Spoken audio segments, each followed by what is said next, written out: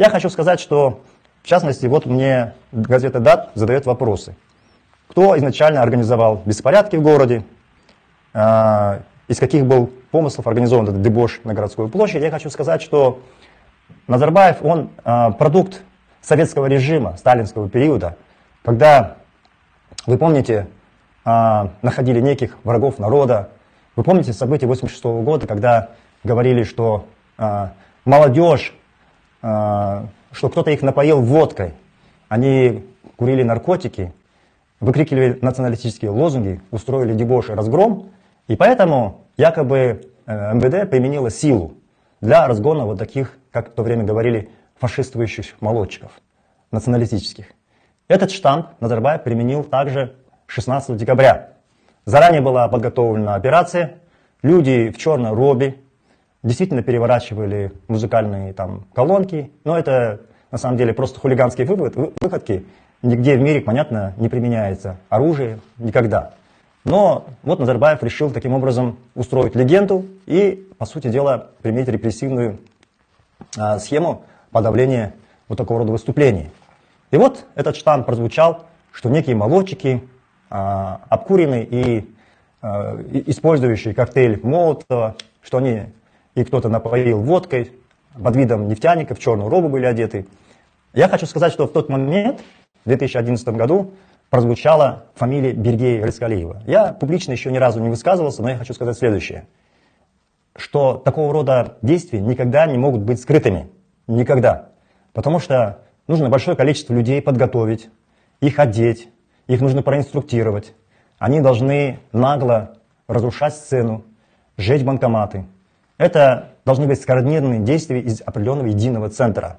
И когда в этом участвуют сотни людей, информация не может быть скрытой. Ее невозможно скрыть.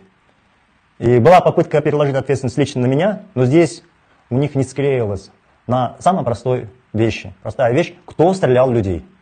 В людей стреляла власть. И поэтому попытка перевесить всю ответственность на Блязову рушится немедленно.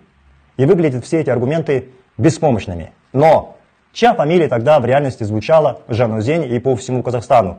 Кого обвиняли в организации вот такого рода беспорядков небольших? обвиняли Бергея Рыскалиева. Бергей Рыскалиев в то время был акимом Атарауской области. И прямым куратором его был руководитель администрации Аслан Мусин, ближайший помощник Нурсултана Назарбаева. Я лично знаю хорошо Аслана а, Мусина, который в Ахтубе а, фактически действовал как бандит, а, применял разные криминальные схемы, контролировал рынки, Э, разные объекты, отели. То есть, в принципе, в Актюбинской области прекрасно знали, что это э, один из сподвижников Назарбаева, который применяет различные бандитские методы. Вот в числе этих бандитов при власти был в том числе и Бергей Крискалеев. Вы, конечно, сейчас можете нахваливать, говорить, что он там Амгаз проводил. Эти все действия делались за счет бюджета страны, а, за счет тех средств, которые отчисляли вы, налогоплательщики. И в этом его никакой заслуги нет. Но вы все должны знать, что Бергей Крыскалеев, ставленник Нурсултана Назарбаева, очень примитивный, не умеющий внятно говорить, а, применяющий именно криминальные методы а, со своими разными конкурентами. А, я, работая, возглавляя банк, с ним один раз столкнулся и воочию убедился. Но мне, конечно, быстро удалось его поставить на место, но я просто понял, что один из этих таких бандитов режима, это как раз тот самый Бергей Рыскалеев. И поэтому я сегодня даю открытую ему оценку что за человек этот Бергей Раскалеев. И не случайно именно Бергей Раскалеев, находясь в Лондоне, получил разные денежные компенсации от, Русл... от Нурсултана Назарбаева. Многие наши наивные люди говорят, о, он взял его а, на испуг Нурсултана Назарбаева, шантажировал. Это одна бандитская группировка, которая действовала вместе, в том числе и в Жаназене. И поэтому имя Бергея Раскалеева всплыло сразу, что он был организатором вот этих молодчиков, бандитов, а, которые там устраивали разные хулиганские действия. Сегодня я впервые открыто оценку говорю. Поэтому, уважаемые друзья, не делайте из него героя. Это такой же бандит режима Султана Назарбаева. Такой же бандит. Именно он вместе с Асланом Мусиным и с Назарбаевым, они разрабатывали эту провокацию, чтобы под видом э, сохранения стабильности, порядка и так далее э, была возможность применить оружие против мирного населения.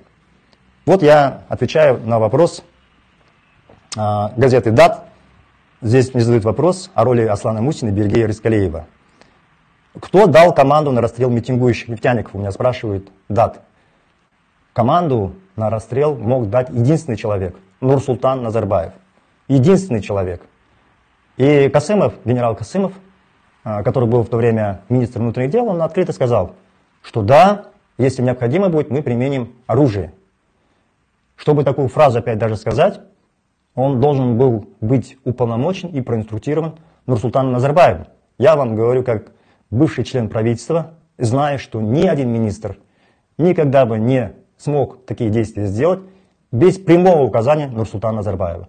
И вот представьте, какой монстр, чудовище руководит нашей страной, который 16 декабря хладнокровно дал команду расстрелять мирных жителей нашей страны, жаназенцев.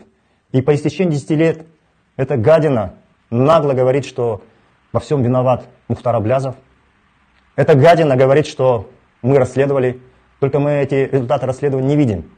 Ни одного человека, который бы перевернул, разбил, сжигал банкоматы, мы не видели в том, чтобы ему предъявили обвинение, чтобы он давал показания. По истечении 10 лет просто Назарбаев произносит какие-то слова, считая, что его средства массовой информации растиражирует, а наш наивный народ в это поверит. Так что вы просто должны знать, этот негодяй, монстр, это гадина, просто в очередной раз лжет и пытается уйти от ответственности. Он панически боится, он понимает, что возмездие придет к нему, и он не ожидал. Он же примитивный совок того времени. Он никак не мог себе представить, чтобы кто-то сверху снял с телефона. Он не мог представить, что затем все это уйдет по всем каналам, по всем средствам массовой информации. Он думает, что он контролирует все в нашей стране, он не понимает, что это в современном мире невозможно.